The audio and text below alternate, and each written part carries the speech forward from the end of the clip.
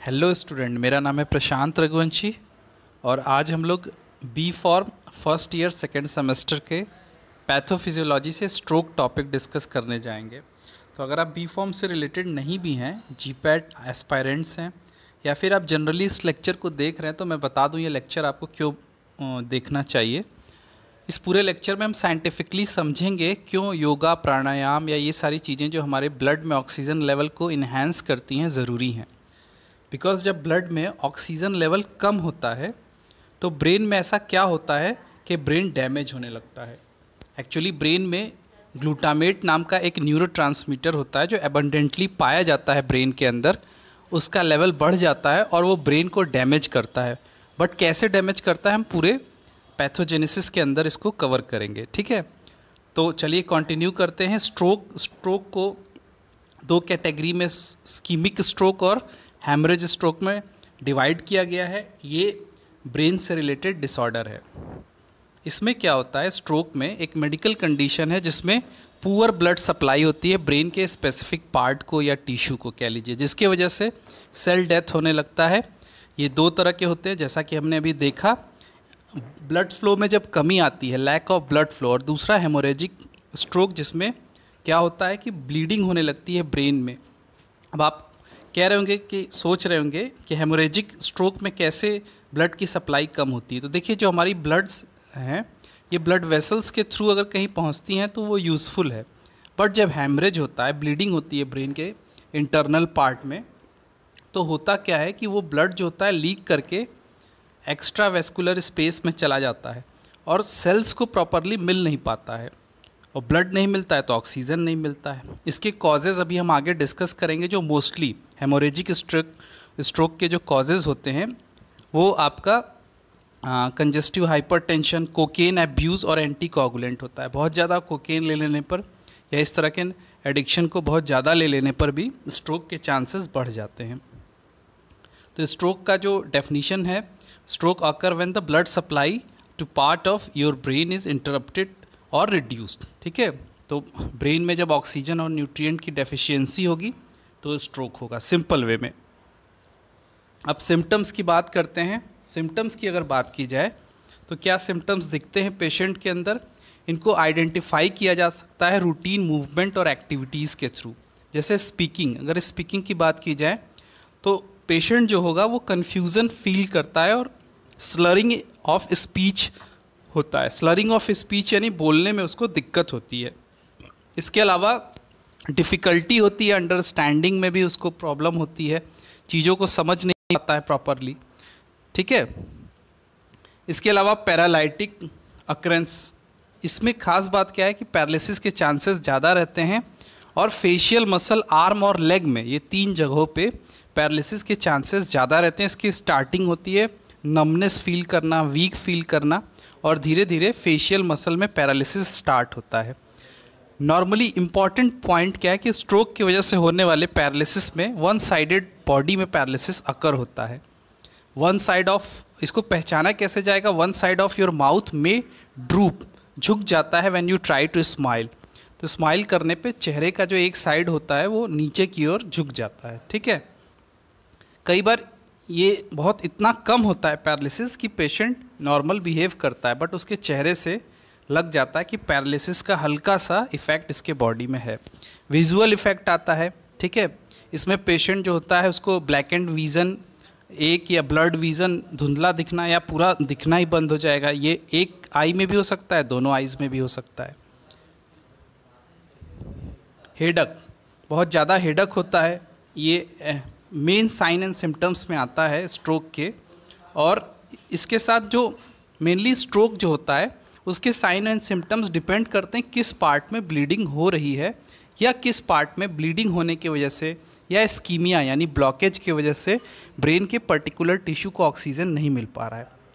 और इसके अलावा हेडक में ऊपर मेंशन किया हुआ है वॉमिटिंग डिजीनेस और ये सारी प्रॉब्लम पेशेंट को फील होती है, ठीक है?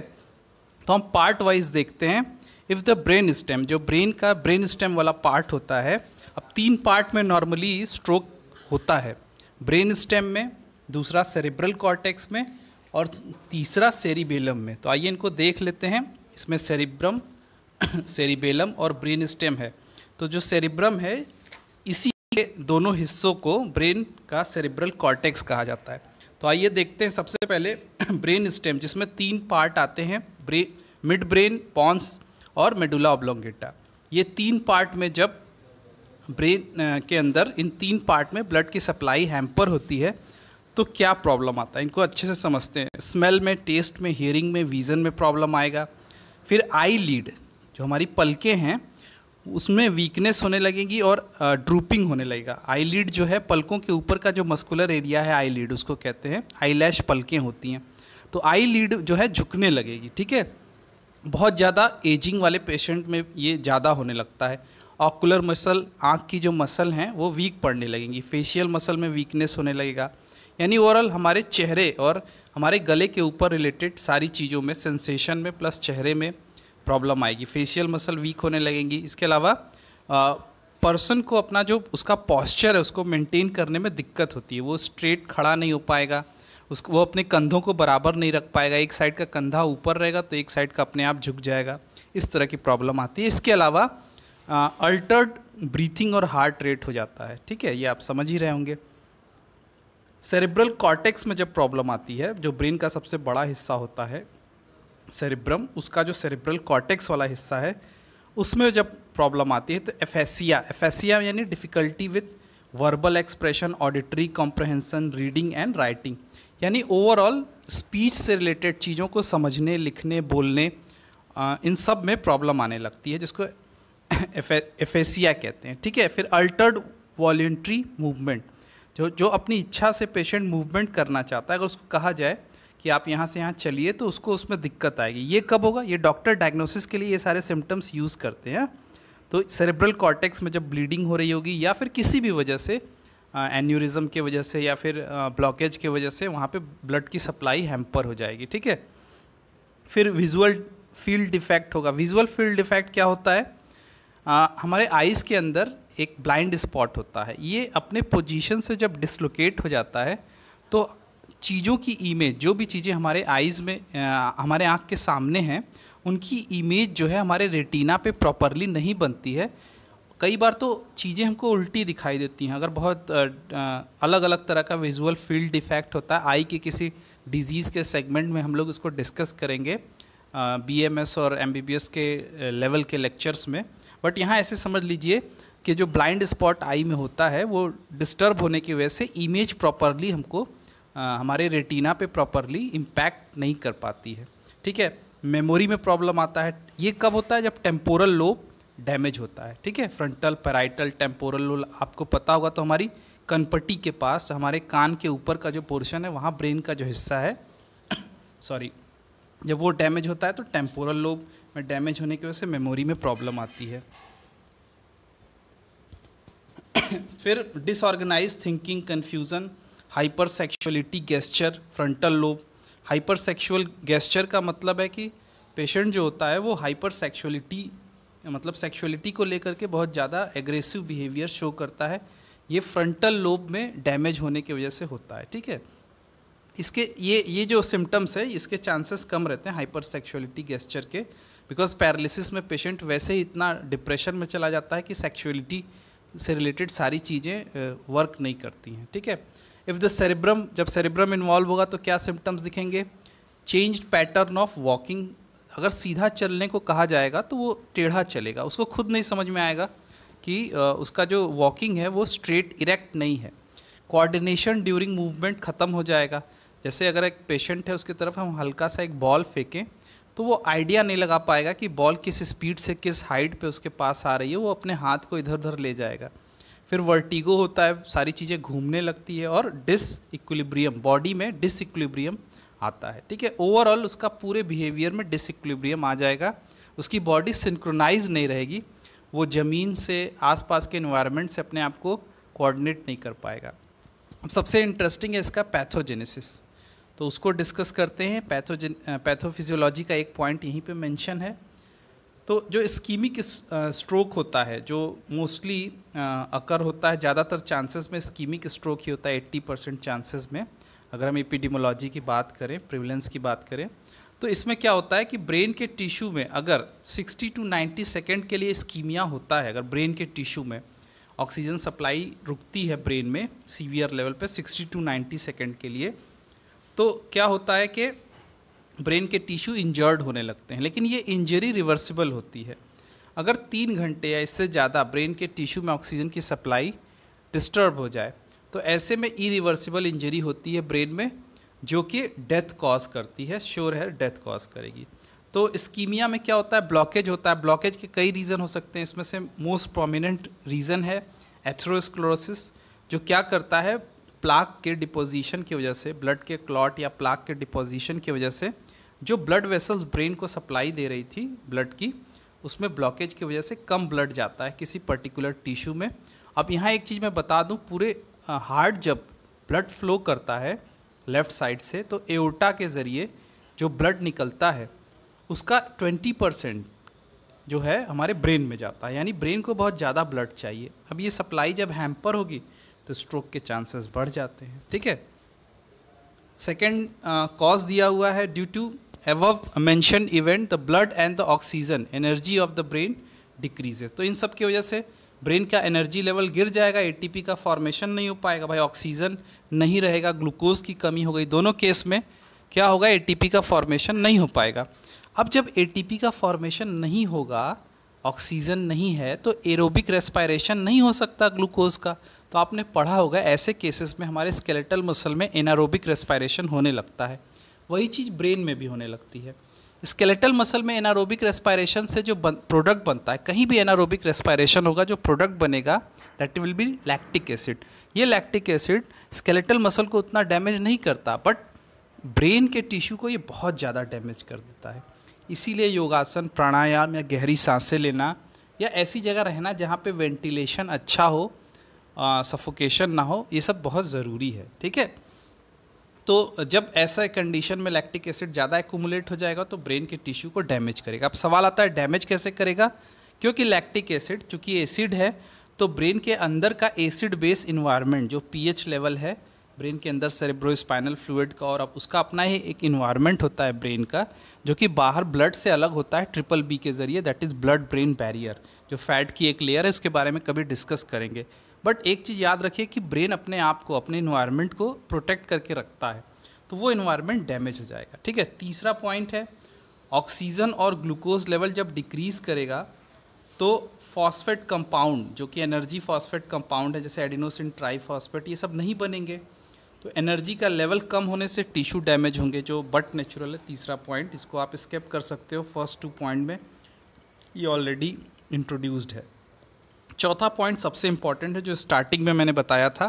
देखिए, हमारे ब्रेन में एक एक्साइटेटरी न्यूरो होता है, जिसका नाम है, जो मेरा फेवरेट भी है रिसर्च पॉइंट ऑफ़ व्यू से ग्लूटामेट ये ग्लूटामिक एसिड का एनायन होता है निगेटिव चार्ज ठीक है? तो ग्लूटामिक एसिड एक नेचुरल अमाइनो एसिड है, जिसको हम डाइट में लेते हैं। उसका एनायन है, उसके एनायन का एक फॉर्म है ग्लूटामेट ये हमारे ब्रेन में अबेंडेंटली पाया जाता है, बहुत ज़्यादा पाया जाता है। और एक्साइटेटरी न्यूरो है जो एक न्यूरॉन्स दूसरे न्यूरॉन को एक्साइट करने में रोल प्ले करता है बिकॉज़ ब्रेन इसी तरह से वर्क करता है न्यूरॉन्स इसी तरह से वर्क करते हैं। अब ये याद रखिएगा, ये एनायन है। तो होता क्या है कि जब जब भी ऑक्सीजन की बहुत ज़्यादा कमी होती है तो एटीपी की कमी हो जाती है। इस एटीपी के बहुत ज़्यादा कम हो जाने से, ठीक है?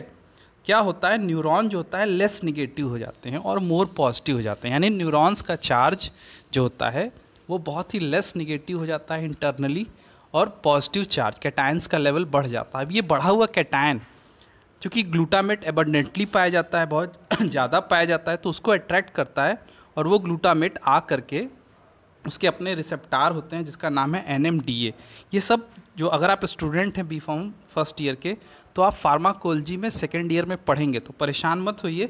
अभी इसको समझ लीजिए कि ये ग्लूटामेट का अपना एक रिसेप्टार होता है एनएमडीए जिसका पूरा नाम है एन मिथाइल डी एसपार्टेट इसके ज़रिए काफ़ी इंटरेस्टिंग चीज़ें होती हैं हमारे ब्रेन में। अल्कोहल और बहुत सारी जगहों पे आप इसको पढ़ेंगे हाँ काफ़ी इंटरेस्टिंग है। तो चलिए उसके रिगार्डिंग ऑलरेडी मैं लेक्चर बना चुका हूँ यूट्यूब पे, अगर आप सर्च करेंगे तो मिल जाएगा। ठीक है तो फ़िलहाल इसकी बात करते हैं। तो जब ग्लूटामेट जो कि अबेंडेंटली पाया जाता है और एटीपी के कम होने से अंदर निगेटिव चार्ज बढ़ गया, ठीक है? सॉरी पॉजिटिव चार्ज बढ़ गया तो उसके वजह से निगेटिव चार्ज एनायन के फॉर्म में जो ग्लूटामेट है वो आया, बहुत ज़्यादा अंदर आया। और एक्स्ट्रा सेलुलरली और सेल के अंदर हर जगह इकट्ठा हो गया और अपने रिसेप्टार एन से जुड़ा। जब ये एन से जुड़ता है तो कैल्शियम चैनल ओपन होता है और बहुत सारा कैल्शियम अंदर आता है। ये कैल्शियम माइटोकॉन्ड्रिया के लिए पॉइजन है। ये ज़्यादा कैल्शियम ये माइटोकॉन्ड्रिया को डैमेज कर देता है। किसके माइटोकॉन्ड्रिया को? न्यूरॉन्स के। अब आपको पता है, अगर माइटोकॉन्ड्रिया डैमेज हो गया न्यूरॉन्स का तो न्यूरॉन्स की सेल डैमेज हो जाएगी। यहाँ मैं एक स्पेसिफिक पॉइंट भी बता दूँ कि न्यूरॉन की सेल में रीजनरेशन का पावर निग्लिजिबली होता है। मतलब अगर न्यूरॉन्स की सेल डैमेज हो गई तो वो अपने आप को रीजनरेट नहीं कर सकती। उनमें सेल डिवीज़न ना के बराबर होता है। ठीक है? तो ऐसे में क्या होता है, उस टिश्यू में जहाँ पे ये डैमेज शुरू होगा, वहाँ स्ट्रोक के चांसेस बढ़ जाएँगे। ठीक है? अब ये सिक्स पॉइंट आप रीड कर लीजिएगा, ये उतना इंपॉर्टेंट नहीं है। फिफ्थ पॉइंट क्या दिया है? Sorry ischaemia also induce production of oxygen free radical जब भी स्कीमिया होता है तो ऑक्सीजन फ्री रेडिकल एक्चुअली मुझे थोड़ी सी कफिंग की प्रॉब्लम है। मैं कोविड पॉजिटिव था तो अभी रिकवर कर गया but little bit dry cough है। ऐसे मैं रिकॉर्डिंग कर रहा हूँ तो थोड़ा सा हिंड्रेंस आ रहा है सॉरी फॉर दैट तो चलिए स्कीमिया जो है, क्या करता है? ये ऑक्सीजन फ्री रेडिकल का लेवल बढ़ा देता है। ये रिएक्टिव ऑक्सीजन स्पीशीज़ बनती है। रिएक्टिव ऑक्सीजन स्पीशीज़ क्या होती हैं? वो फ्री रेडिक फ्री रेडिकल जो जा करके अदर मॉलिक्यूल से जुड़े। ये कब बनता है? जब भी ऑक्सीजन की कमी होती है तो जैसे लैक्टिक एसिड बनता है, वैसे और भी हार्मफुल कंपाउंड हमारे ब्रेन में बनते हैं। ये एक दिन में नहीं बनते it will take time one year two year five year depend करता है पर्सन टू पर्सन पैथोजेनेसिस पे। और जब ये बनते हैं तो ये ब्रेन के अदर न्यूरॉन्स को न्यूरॉन्स के अदर अदर पार्ट्स को, जैसे न्यूरोग्लिया सेल श्वान सेल बहुत सारे पार्ट होते हैं मायोफाइब्रिल उन सबको डैमेज करना स्टार्ट कर देते हैं, ठीक है? तो चलिए इसके बाद कॉजेज़ की बात करते हैं ischemic stroke can be result of the blockage of artery और हेमोरेजिक स्ट्रोक या तो ब्लॉकेज हो जाए स्कीमिया हो जाए, या फिर हेमरेज हो जाए, जो स्टार्टिंग में हम डिस्कस किए हैं।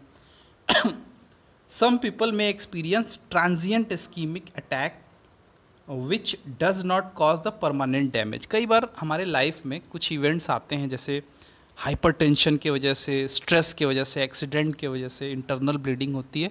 थोड़े समय के लिए स्ट्रोक होता है, फिर ये रिकवर हो जाता है। इसमें परमानेंट डैमेज नहीं होता है। फिर इसमें स्कीमिक जो स्ट्रोक है, ये 80 परसेंट स्ट्रोक का कॉजेज़ है। तो इसको डिस्कस करते हैं। ये दो तरह का होता है थ्रोम्बस फॉर्मेशन थ्रोम्बस फॉर्मेशन में क्या होगा? ब्रेन में जाने वाली ब्लड सप्लाई जो है अंदर, वहाँ पे कहीं क्लॉट बन जाए, ठीक है?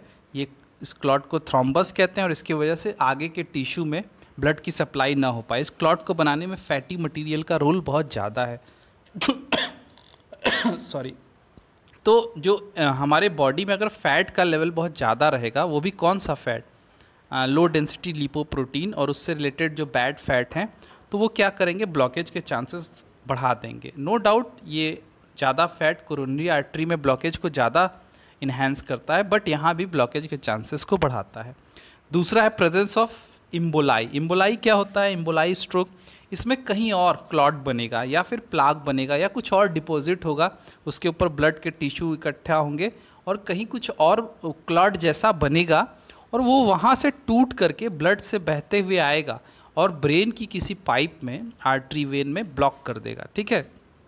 तो ये हो गया आपका इम्बोलाई स्ट्रोक इसको आप रीड आउट कर लीजिएगा, आप स्क्रीनशॉट ले लीजिएगा पूरे वीडियो का और आप रीड आउट कर लेंगे शॉर्ट नोट्स आपका बन जाएगा। फिर हैमरेज ठीक है? दूसरा है आपका हैमरेज स्ट्रोक हैमरेज स्ट्रोक में क्या होता है? ब्लीडिंग होती है ब्रेन में स्टार्टिंग में मैंने बताया।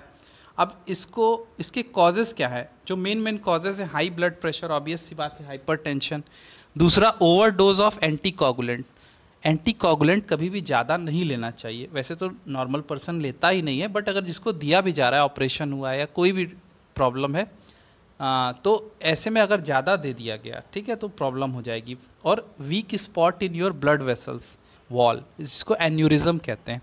अब एज के वजह से लाइफ स्टाइल के वजह से किसी भी वजह से ब्लड वेसल्स जो ब्रेन में गई हैं अगर उसका वॉल उसकी लेयर बहुत वीक हो जाती है तो उसमें बल्जिंग होने लगती है वो फट सकती है।